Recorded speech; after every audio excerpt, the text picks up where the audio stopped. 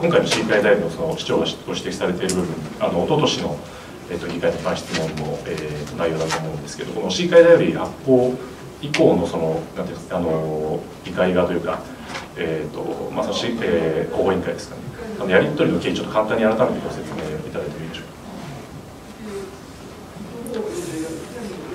まあ、広報誌の中で指摘したというのはいよいよ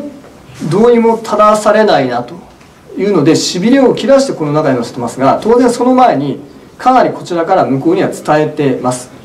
そもそもこの中でも言及してますが作成段階で議会へ指摘はしてます。今さっき言ったような内容ですね。にもかかわらず修正がないまま発行されたのでこれはおかしいだろうということで急遽広報誌の方でそれを指摘したという流れです。で最近で言えば広報委員長の新田和明議員ですけどもに、え説明に来るように、え再三お伝えをしました警告をしてきましたが、えついぞそれを無視されるという対応に終わっています。今日の結論に至るに至ってはその昨日議長のその対応があってというところ先週定例記者会見の後ですよね。ここでお話をして、まあ、議長のところに行って話をした時にあの続きです。まず事実を確認してくださいそして是正措置を取ってください。当たり前ですよね。たところから、えー、音沙汰なかったので29日付でさっき議会議長から来たのと入れ違いになったんですがその中で通知を送ってます。その中で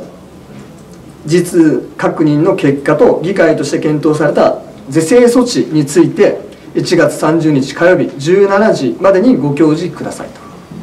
でそれが昨日の夕方なのでその時までに、えー、他の連絡がありませんでした。なのでさっきの通知ですね、まあ、入れ入れ違いになってたのであれで終わらせるっていうのもなかなか普通じゃないなと思ったんですがこれで終わりです。で、まあ、対応についての言及がないので、まあ、今回の、えーとまあ、予算計上しないということになったんだできないんですよねだって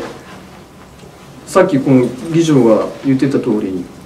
憲法21条と議会基本条例第16条に基づき発行されてる情報媒体なんですよ。その正当性が確認できないのに予算組んでいいと思われますか？ダメだと思います実際議会は逆のパターンですけども広報誌の内容を理由に決算不認定してますよね。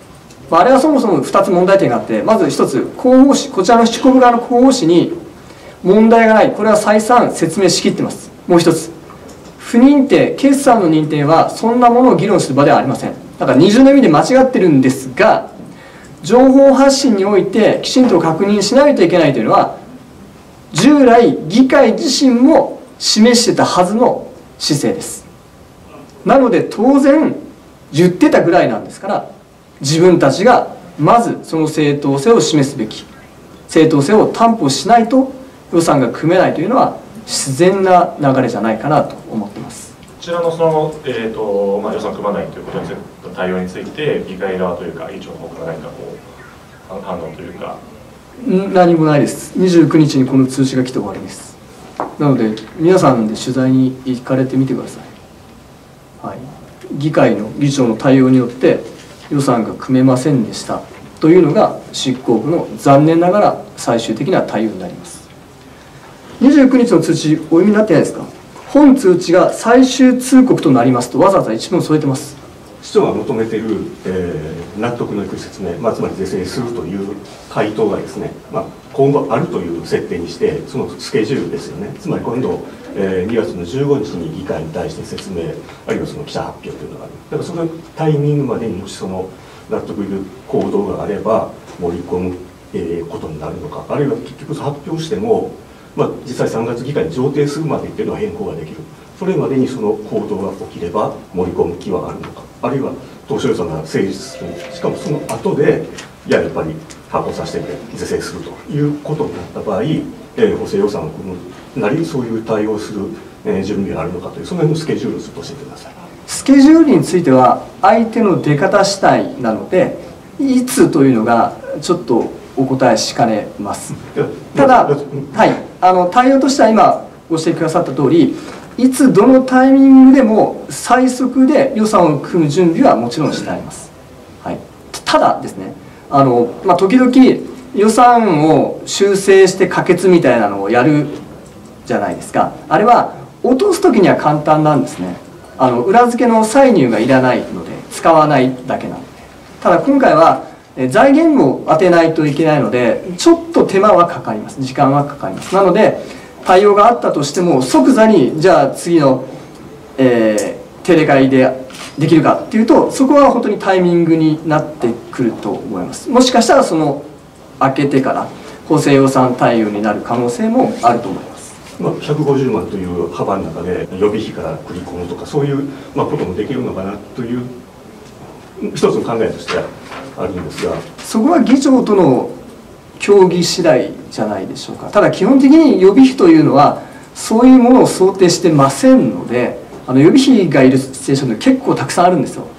議会頼りなんていう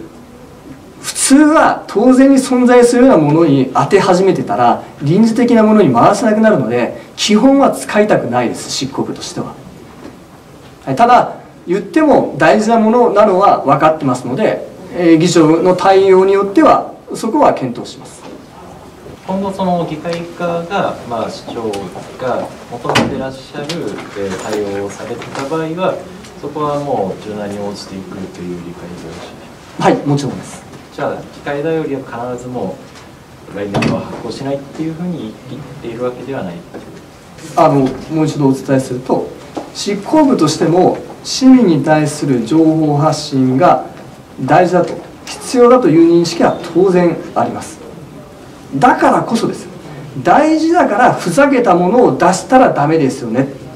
そこだけなので、はい、ちゃんとしたものであれば当然即座に発行する体制にしたいと思います。その、えー、正当性が担保されるか否かっていうのを判断されるのは執行市長が判断される。今の状態ではそうですね。あのメディアの方に任せましょうかじゃあ。それでもいいですよ。秋田方市議会の議会頼りがまとむかどうかメディアの皆さんが採点してくださっても結構です。がまあそんな面倒くさいことやらないですよね。なので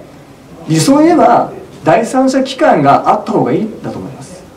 それは別に執行部の広報誌においてもです。ただ執行部の情報発信は議会が担いますので不要なんですよね。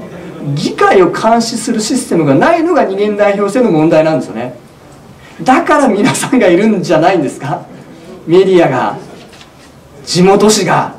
今回の経緯の中で広報誌の作成段階からも指摘してきたという話があったと思うんです。その指摘をしていたのは今回、えーと、挙げられてる広報のものなのかそれともそれ以外のものも含まれているのかっていうちょっと説明をするとそもそも従前ですね執行部の方に内容のチェックは来てました。でその中で、まあ、誤字脱字も含めてですねここの表現って本当にこうなってたっていうのは指摘をしてきてます。でその中で特にです。目に留まったのが先ほどの具体的な件数を言いさらには昔より今の方が多いという内容にもかかわらず議会頼りではではそれなりにという表現に差し替えられてたのでこれはさすがにおかしいだろうというふうに指摘をしました。つまりまあ細かい指摘もいろいろまあ少し雑の含めてあるけれども先ほどそれなりにという部分が一番こう指摘として言っていて、まあ、強くそこは求めていたというところでよろしいですか、はい、明らかな間違いだと間違いだと思いましたのでそこは当然そのように指摘をしましたし先ほどの広報誌他のところで説明したとお伝えしましたが文脈が変わっているまとめ方が多すぎるんです。実際の一般質問や委員会における質疑応答とこの議会頼りに載ってるそれ姿があまりにも乖離してて議会ダイヤルだけ読んでる人はあ議員の人ちゃんと議論してるんだなというふうに読めてしまいます。ただ実際そうじゃないのは皆さんご存知の通りです。メディアの方であり今 YouTube で見れますので YouTube 視聴してる方だったらみんな知ってるんですよ。議論ができてないという。それを広報誌の中では指摘をしてもいます。もう一点あはい。いいです。か、正しい情報に関しては訂正とかがあればそれはその正しい対応になっていくんですか？ね、えー、と市長が指摘してる部分の訂正とかが出しますっていうふうになれば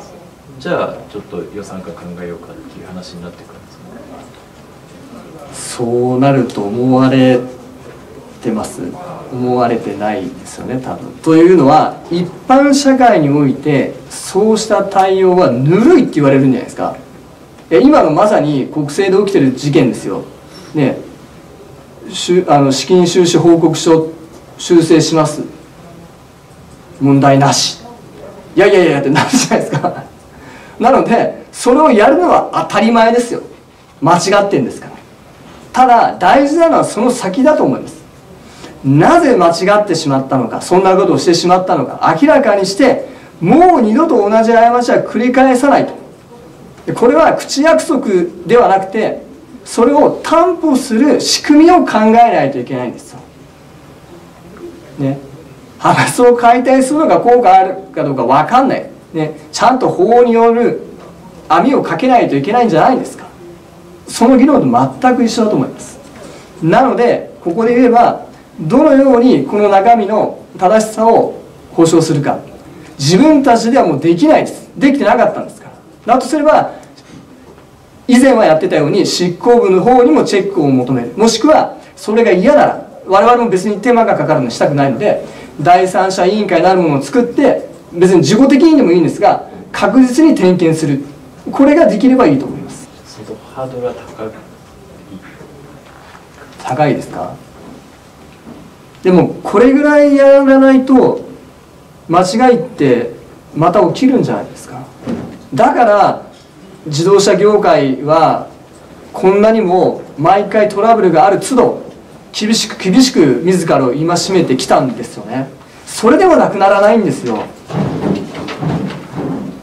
やるのが当然だと思います。